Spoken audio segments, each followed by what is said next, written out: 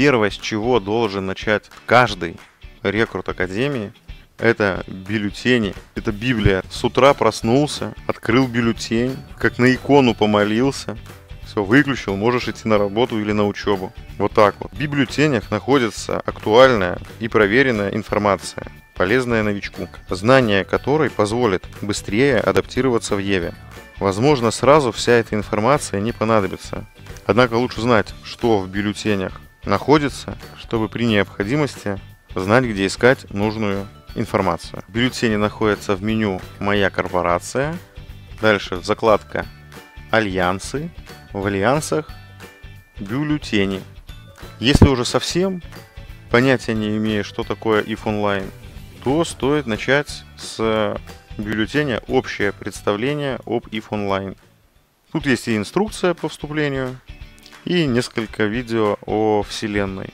Стоит обратить на правила, за которое 100% исключения из корпорации. Ну а для рекрута важно знать три главных пункта. Это навигация, оснастка корабля и техника безопасности. Без этих трех пунктов он не может ничего. После того, как стало в общих чертах понятно, как нужно одевать и перемещать свою тушку в пространстве, можно переходить к заработку денег. Лучший заработок для новичка – это сканирование космических сигнатур. Эта деятельность во много раз прибыльнее, чем любые другие заработки, доступные новичку, в десятки и в сотни раз. А если говорить о конкретных цифрах, то минимальная норма от 100 миллионов денег в час. Меньше этой цифры, значит, делаете что-то не так. Ну а если везет и прет, то цифры очень вкусные. Главное делать все так, как мы учим. Однако для успешного заработка только сканирования недостаточно, как и любого другого ремесла, потому что всю найденную добычу нужно правильно и выгодно продать. Поэтому дальше необходимо обязательно обратить внимание на бюллетень «Торговля», в котором можно будет узнать базовую информацию о том, как управлять личными финансами и более углубленный курс по торговле для тех, кому это интересно. Самое главное для вас на первом этапе это прокачка навыков. И именно игровая валюта, иски, помогут вам это сделать максимально быстро. Ею можно оплатить премиум, омега статус, за счет которого прокачка навыков ускорится в два раза. Также вы сможете приобретать себе СП-инъекторы с очками навыков, которых можно кушать столько, сколько деньги позволят. Рекорд в русской академии у рекрута, который набрал за месяц 11 миллионов очков навыков. Без инъекторов с омега статусом такая цифра набирается за полгода. Выбор за вами. В бюллетенях вы найдете информацию и о других профессиях. Однако заниматься ими мы рекомендуем после того, как с помощью сканирования и скилл-инжекторов будут прокачаны для них соответствующие навыки.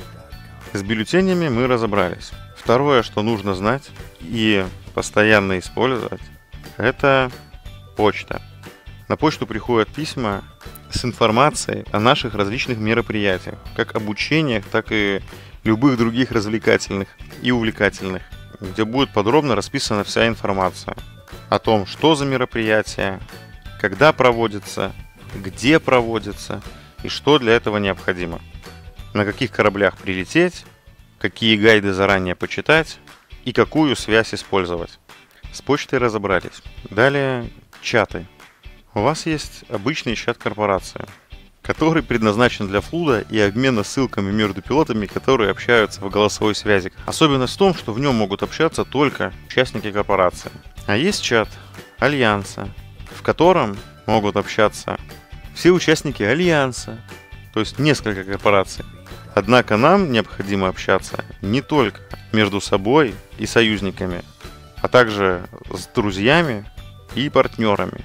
Поэтому в Русской Академии основной чат РУСАК, аббревиатура Русская Академия.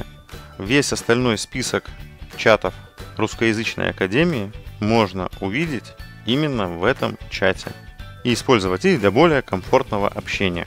Стоит отметить, что время указано соответствует времени сервера по Гринвичу, не вашему Мухосранску. Вот и сказочки конец, а кто слушал, молодец. А кто не слушал, тому пиздец. Также это видео можно будет найти в бюллетенях корпорации. для повторного просмотра. Всего хорошего!